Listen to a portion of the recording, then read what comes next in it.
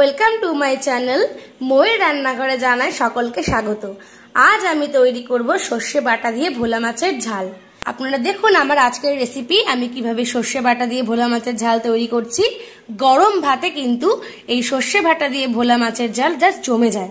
তার আগে যারা এখনও আমার চ্যানেলটা সাবস্ক্রাইব করেননি, তারা এখনই আমার চ্যানেলটাকে সাবস্ক্রাইব করে আমাকে সহযোগিতা করবেন। আমার রেসিপিগুলো ভালো লাগলে লাইক আর শেয়ার করবেন। দেখে নিই সর্ষে বাটা দিয়ে ভোলা মাছের ঝাল তৈরি করতে কি কি উপকরণ লাগছে? লাগছে পাঁচশো গ্রাম ভোলা মাছ। আমি মাছটা বাজার থেকে কেটে নিয়ে আসার পর বাড়িতে ভালো করে ধুয়ে মাছটা নুন হলুদ মাখিয়ে রেখে দিয়েছি। লাগছে বেগুন। আমি একটা বেগুনের অর্ধেকটা কেটে নিয়েছি। অর্ধেকটা কেটে অর্ধেক বেগুনটা এরকম লম্বা লম্বা টুকরো করে আমি কেটে রেখেছি। লাগছে পাঁচ চামচ সর্ষে বাটা, দু চামচ লঙ্কা বাটা একটা টমেটো কুচি, হাফ চামচ লঙ্কার গুঁড়ো, চার ভাগের এক ভাগ জিরে গুঁড়ো, এক কাপ ধনেপাতা কুচি, লাগছে ফোড়নের জন্য সামান্য কালো জিরে, লাগছে পরিমাণ মতো হলুদ, পরিমাণ মতো নুন আর লাগছে পরিমাণ মতো তেল। আমি রান্নাটা সাদা তেলে করব। আপনারা চাইলে সাদা তেলের পরিবর্তে সর্ষের তেলেও রান্নাটা করতে পারেন।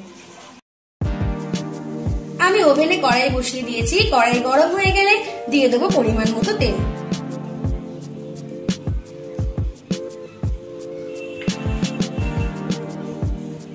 তেল গরম হয়ে গেলে একটা একটা করে মাছ আমি তেলের মধ্যে দিয়ে দিচ্ছি ভাজার জন্য।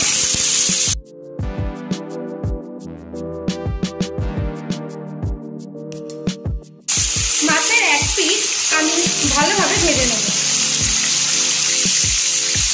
মাছের এক পিস ভাজা হয়ে গেছে। আমি মাছগুলোকে এবার উল্টে দেবো আর এক পিস ভাজার জন্য।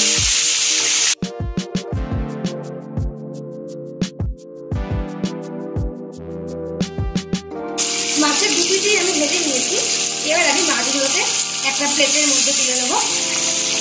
ঠিক একই রকমভাবে আমি সব মাছগুলো তুলে নেব।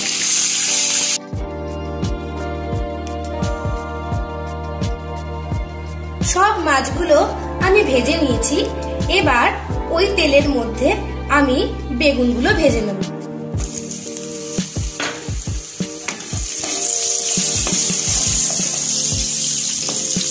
বেগুনগুলো দিয়ে দিয়েছি। বেগুনটা আমি ভেজে নেব। বেগুন ভাজার সময় বেগুনের মধ্যে আমি সামান্য নুন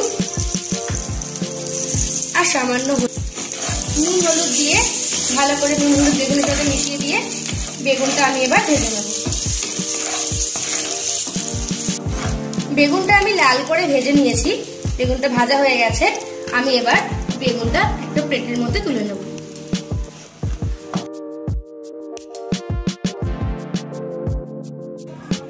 বেগুনগুলো সব ভেজে একটা প্লেটের মধ্যে তুলে নিয়েছি।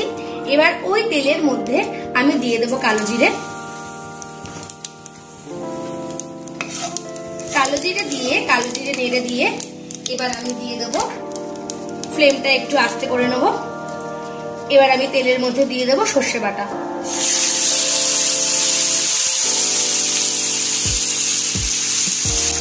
দেবো লঙ্কা বাটা। জিরে গুঁড়ো আর লঙ্কার গুঁড়ো। দিয়ে দিচ্ছি পরিমাণ মতো নুন।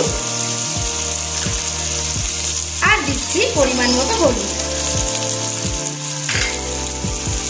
মশলাগুলো দিয়ে আমি সামান্য জল অ্যাড করব মশলাটা ফ্রাই করার জন্য।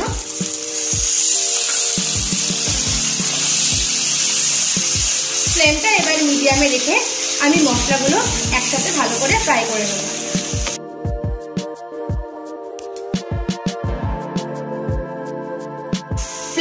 মিডিয়ামে রেখে দু মিনিট ধরে মশলাটা আমি ফ্রাই করে নিয়েছি।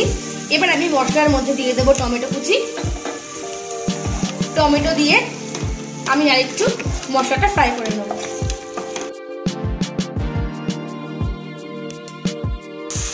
মশলার মধ্যে টমেটো দিয়ে মশলার টমেটো একসাথে আমি নেড়ে ছেড়ে একটু কিছুক্ষণ ধরে ফ্রাই করে নিয়েছি। টমেটোগুলো সব মজে গেছে। আমি এবার এর মধ্যে এক বাটি জল দিয়ে দিলাম। ফ্লেমটা এবার বাড়িয়ে নেব। জল দিয়ে ভালো করে একটু জল মশলার সঙ্গে মিশিয়ে দেবো।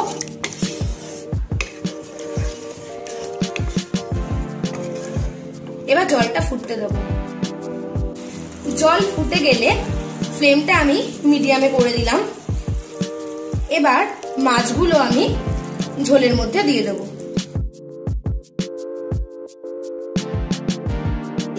এবার আমি বেগুনগুলো দিয়ে দিচ্ছি। সব বেগুনগুলো মাছের মধ্যে দেওয়া হয়ে গেছে। এবার আমি ধরে পাতা কুচি উপর থেকে মাছের মধ্যে দিয়ে দিচ্ছি। ঝোলের মধ্যে মাছ, বেগুন আর ধনে পাতা দিয়ে ফ্লেমটা বাড়িয়ে রেখে দু মিনিট ধরে ফোটানোর পর তৈরি হয়ে গেল সর্ষে বাটা দিয়ে ভোলা মাছের ঝাল। এবার আমি ফ্লেমটা বন্ধ করে দেবো আর এটাকে একটা পাত্রের মধ্যে তুলে নেব। আপনারা অবশ্যই বাড়িতে আজকের এই রেসিপিটা ট্রাই করবেন। এটা কিন্তু খুব সুস্বাদু একটা রেসিপি গরম ভাতের সঙ্গে কিন্তু এই সর্ষে বাটা দিয়ে ভোলা মাছের ঝাল খেতে অসাধারণ লাগে। আর যারা এখনও আমার চ্যানেলটিকে সাবস্ক্রাইব করেননি, তারা এখনই আমার চ্যানেলটিকে সাবস্ক্রাইব করে নেবেন। আর আমার বানানো রেসিপিগুলো আপনাদের কেমন লাগছে, আমাকে অবশ্যই কমেন্ট বক্সে কমেন্ট করে জানাবেন।